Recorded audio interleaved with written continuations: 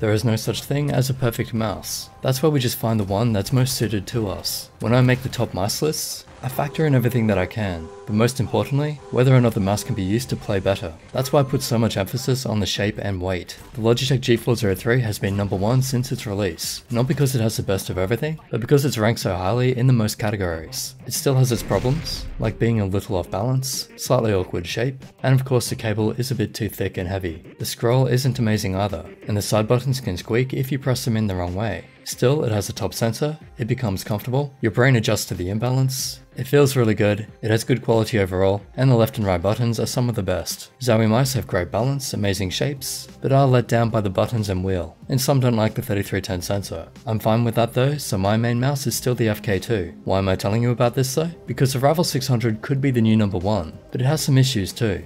When I first picked it up, it immediately felt comfortable. I actually said out loud, oh I like this a lot. Now, I just want to quickly remind everyone that I do have an affiliate link with SteelSeries, so if you do think this mouse is for you and you're buying directly from them, using my link is appreciated. I'm also an Amazon affiliate, so check the description for more information. Okay, moving on to the materials. It's slightly rubberized on the buttons and back, these middle parts are plastic, and these side grips are rubber. There is an unnecessary gap on the right, but my finger seems to avoid it, which brings me to shape. The right side doesn't have the right shape to assist with grip. It's not rounded outward enough. Comfortable, yes, but could slip if that grip doesn't hold properly. For example, if I hold the Zowie FK2 and gradually release my grip, notice it doesn't move. That's not just the material there, that's the shape creating a bit of a ledge, which means when I lift the mouse, it's like a handle I'm getting under. So the Rival 600 could have used something like that, because the rubber is a tiny bit slippery at times. See as I loosen my grip, it does slip out. It never happened in game, I'm just pointing this out. So that said, the Logitech G403 doesn't really have that either. It's just a rubber does make the grip a bit easier. So even the current number one doesn't quite have the right shape there. Thankfully, on the thumb side, they do have a minor ledge. Overall, I didn't actually have trouble gripping the mouse. It never slipped, but this is something that could be improved in the next mice. SteelSeries now have comfort grooves though, and these feel really good. They have a good curve, so you shouldn't feel like you're forced to rest your fingers in certain positions, but they'll still give you just enough support to help it feel right. You can see from the base how straight this mouse is. There is very little angle, which makes it a safe shape. Most people should be able to find a place to grip it comfortably anyway. On the top, they took a bit of a risk to give it some flair and features, with the RGB light strips and sides that come off. They knew they would have a gap for this, so I guess they filled it with something to get attention. Quick note, you can use this mouse without the sides. Super slim grip width and lighter. Can I aim it better? Kind of. I mean, I wouldn't recommend using it without the sides for long periods of time, and it's not great without the thumb button side. But every now and then, for say half an hour, it might actually give you a bit of an edge. Kind of like a secret weapon. I found it fun anyway. Back to the top area, it does feel a little awkward, especially if you want to palm grip it, and if you really focus on it, you might actually get annoyed with it. But if you really like the mouse, then no doubt you'll love using it and forget they're even there. So they're definitely not a deal breaker. You'd really have to have a bad day to actually even worry about them. The back has a nice curve to it, with only slight angles that we've seen on other rival mice. Here it is next to the rival 310. While I prefer some features on the 310, overall the 600 is more comfortable, and that's a standout point for it. Even though it's not perfect, it's just a really nice mouse to hold and use. From the side, we can see the gradual slopes going either way, with the hump standing just over 4cm, or 1.6 inches in the middle. The 310 has the hump more toward the back.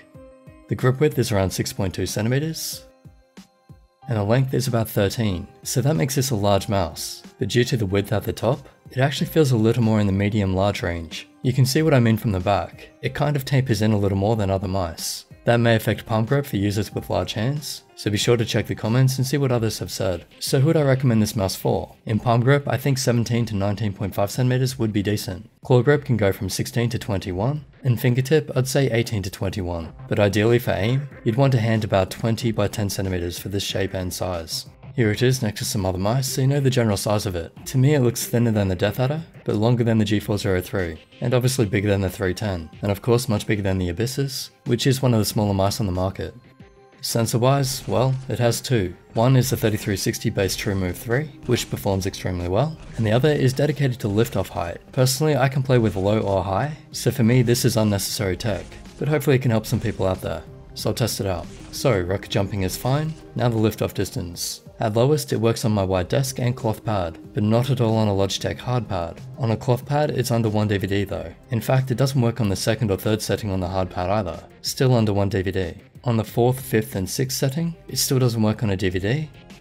Now on the 7th, it doesn't work on the hard pad again, or on a DVD, but does on cloth and the white desk. And on the highest option, it just starts to work on a DVD on a cloth pad. Again, nothing from the hard pad. However, if I go into settings with another mouse while the 600 is on the hard pad, it will track on it straight away. And I change that setting, it will track on it straight away at all settings. So I guess it's doing some surface tuning each time we change this setting. That actually might cause an issue for people changing the lift off distance on certain pads. So be careful with that. Or at least make sure you have another mouse ready to change that setting. So far, it seems as long as it's on the pad when that setting is changed, it will adjust to it. So it should be okay, I just want to point that out in case anyone got stuck. As usual, I can't make it spin out even moving it as fast as I can, and even in the tilt slam test, I can't get it to lose track.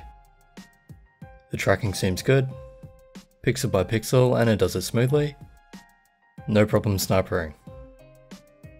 There's no abnormal acceleration or deceleration that I can see, and it looks slightly more responsive than the G903 at M-Filter 10 but I think the mouse feet aren't as smooth, so generally the G903 feels a bit easier to move. In the line test all seems good. I tested each lift off height and it changes a little as it goes up, but really not by much. I think they will need to adjust it to go even higher to be of any value to people. Right now it's either super low or super extremely low. I doubt anyone is going to notice, but personally I think 1.8mm is the best lift off distance. Most people won't need to adjust it. The only feedback I've really heard is people want either one DVD or two DVDs of height. Other than that, it's really not a concern. Now for a button sound check.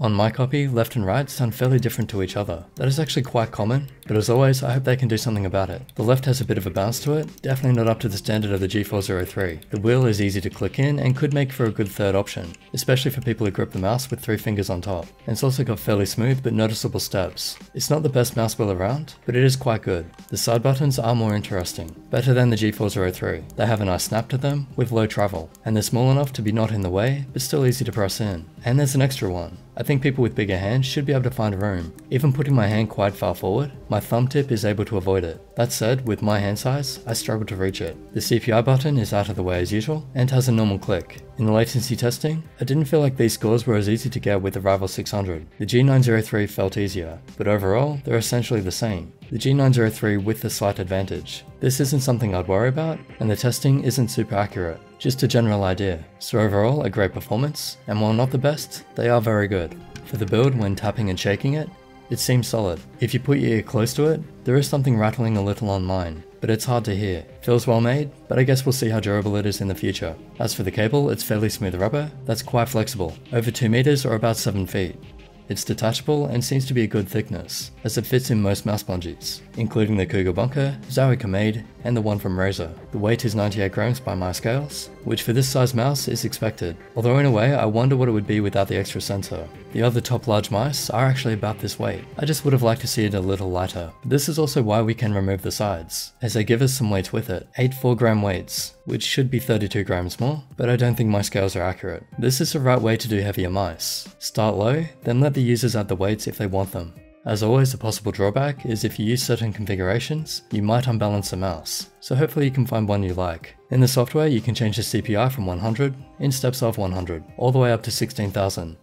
Then there's lift off distance, accel, and usual options and you can rebind the buttons to suit you. Usual options here too, keyboard commands, macro editor that allows some editing, but I don't use macros so I'm not going to comment on that too much. Then there's media, mouse and some others. Lastly, we have the RGB options. It has multiple zones, and you can make your own gradients for each. So that's all good. The color looks smooth and accurate, but it didn't remember my CPI settings so I don't think it has onboard memory for that. Okay, in conclusion, wow, this is a nice mouse. Again, it's not perfect, but it's so good in so many categories, it deserves the top place. Factoring all the things that make up a mouse, and how well I think people can play with it, this has almost everything right. The shape, the weight, sensor, buttons, balance, features, maybe not cost, it is a bit expensive, but I think it'll be worth it. The shape is one of the most comfortable I've used. The weight is around the EC1 from Zowie, and the Razer DeathAdder, so it's large, that's actually decent. The G4 03 is lighter, but has an imbalance, and the fact is, I aim really well with the G4 03,